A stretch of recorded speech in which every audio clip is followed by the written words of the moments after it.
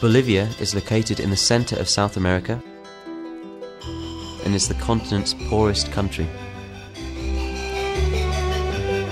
Bolivia has a population of nearly 9 million people, but more than half of those live below the poverty line, unable to pay for food, healthcare, housing, or even their children's education. Young boys, girls, and teenagers make up more than half of Bolivia's population. It is estimated that in the capital La Paz alone, more than 30,000 children live in the streets. They are born into poverty, grow up without love, are robbed of their childhood, and often have no future.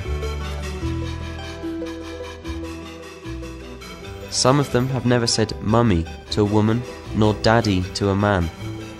Most get along by working or begging in the streets, but nonetheless, some even have to steal in order to survive. Many girls turn to prostitution, some of them just 10 years old. Here is the dramatic case of Francisca. How old are you? 12 years old. How long have you been a prostitute?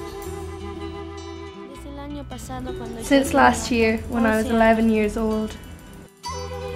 How much do you charge? Sexual act costs 8 bolivianos, enough for food and to live and get by. At night, many kids sleep in a hotel of a thousand stars. That's to say, in the open air, under bridges, in dumpsters, and in empty niches in the walls of the cemeteries. The abandoned children all have something in common, which is the pain of being unwanted. Our society calls them disposable, as if they were something with no worth or future.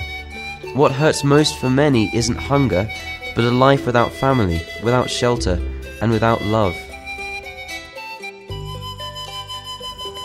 Foundation Arco Iris The Foundation Arco Iris was founded in the city of La Paz in 1994 by Father Jose and is divided into three main parts social work, the vocational training of young people, and the Foundation's star project, the Hospital Arco Iris. The Foundation shelters around 300 children in its seven different homes. More than 800 are grateful to receive daily meals.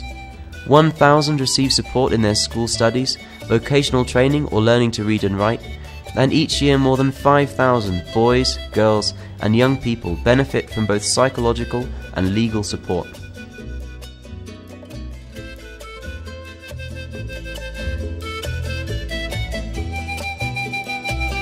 The Hospital Arco Iris gives about 60,000 consultations free of charge every year to street children and also to those living in extreme poverty.